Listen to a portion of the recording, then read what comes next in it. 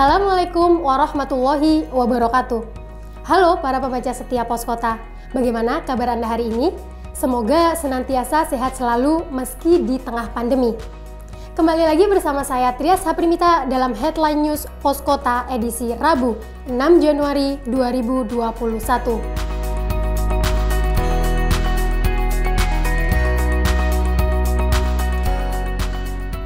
Diawali dengan berita pertama, yakni terkait pengungkapan narkoba jenis kokain oleh Polres Jakarta Pusat.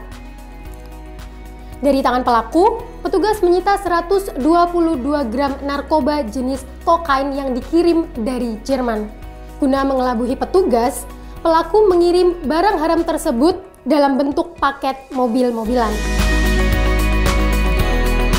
Selanjutnya, berita yang juga menarik untuk disimak ialah terkait pemerintah Provinsi DKI Jakarta yang menyiapkan TPU Rorotan untuk pemakaman jenazah pasien COVID-19. Hal ini dilakukan mengingat lahan di TPU Pondok Rangon yang sebelumnya dikhususkan untuk pemakaman pasien COVID-19 telah penuh.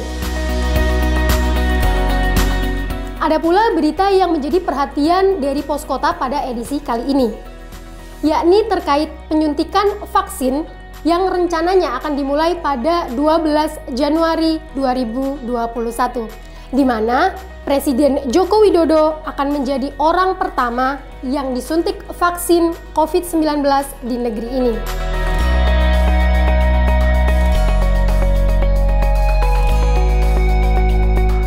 Demikian headline news Pos Kota edisi Rabu 6 Januari 2021.